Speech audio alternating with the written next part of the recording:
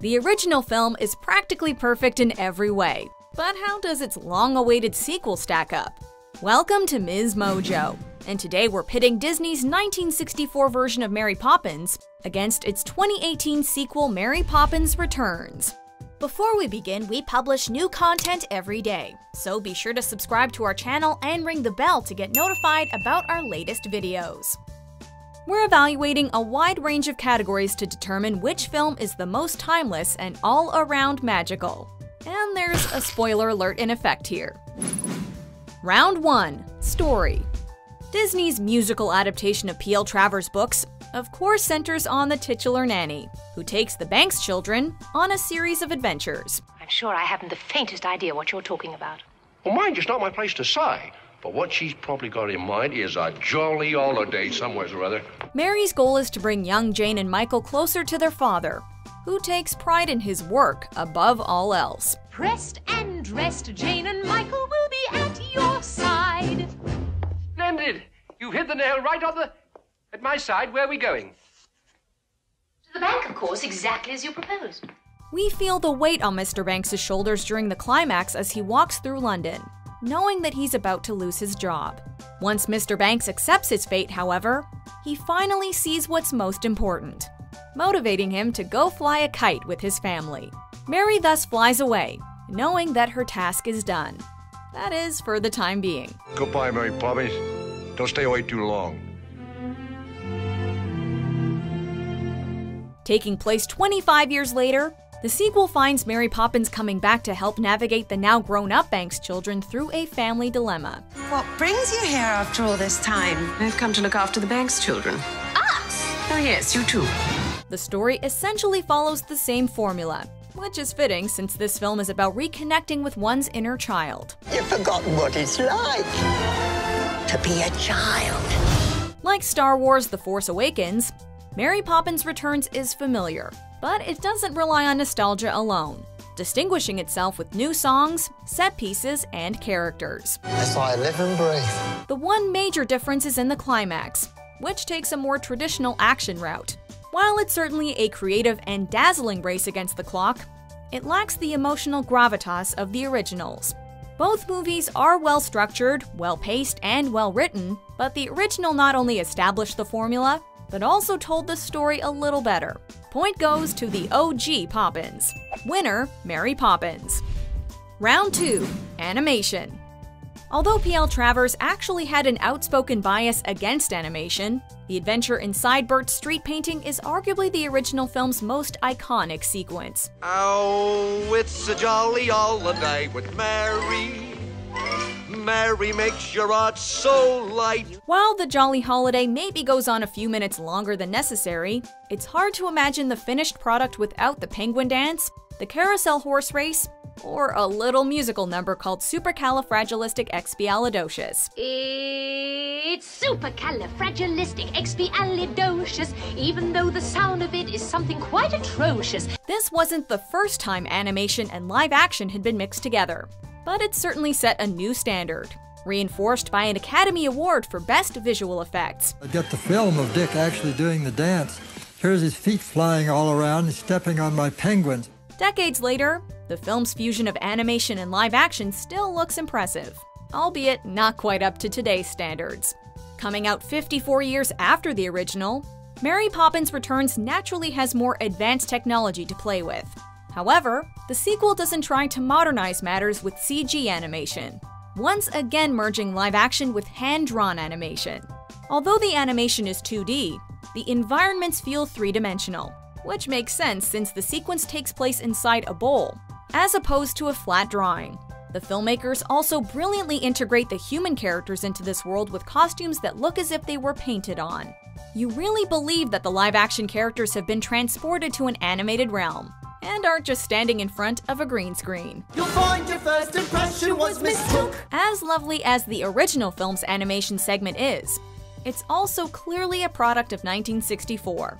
The sequel's use of animation strikes just the right balance of old and new, staying true to tradition while also taking advantage of contemporary innovations.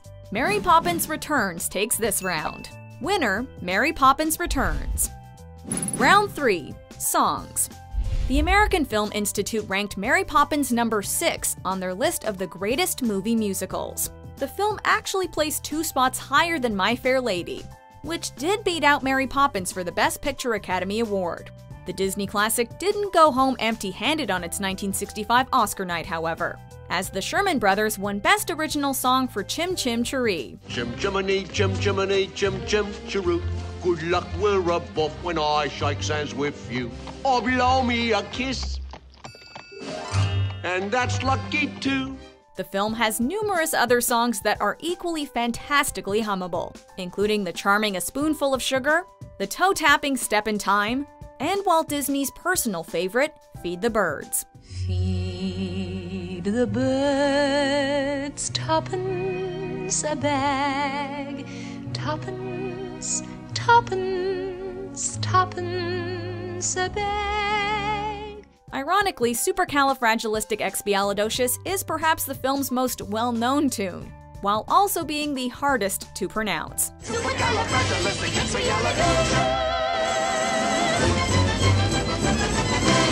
So, how does a sequel compete with a musical as beloved as Mary Poppins? Well, enlisting composer Marc Shaiman and lyricist Scott Wittman of Hairspray to write original songs is a good start. And bringing Richard M. Sherman on as a music consultant also guarantees a soundtrack that's pure Poppins. The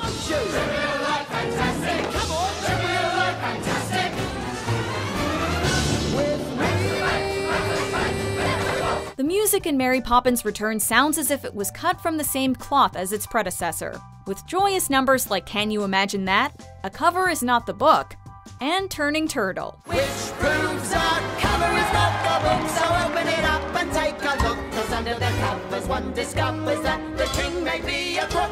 The highlights are the marvelously choreographed Trip a Little Light Fantastic, and the bittersweet Place Where Lost Things Go. Nothing's gone forever, only out of place. It's a close call. The original film songs are all perennial classics, and time will only tell if the sequel soundtrack shares a similar legacy. Plus, the songs from Mary Poppins Returns owe much of their inspiration to the works of the Sherman Brothers. The 1964 film hits the highest note here. Winner, Mary Poppins. Round 4 Themes. Although they were made for all ages, both Mary Poppins films touch upon surprisingly adult themes.